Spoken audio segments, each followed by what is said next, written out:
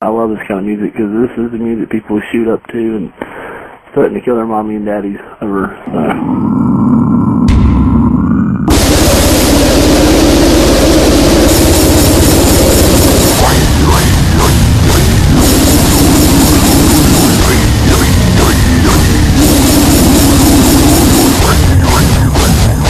really, you guys need to get help. Really, you guys suck more balls than David Hasselhoff. So, you guys really need to get help.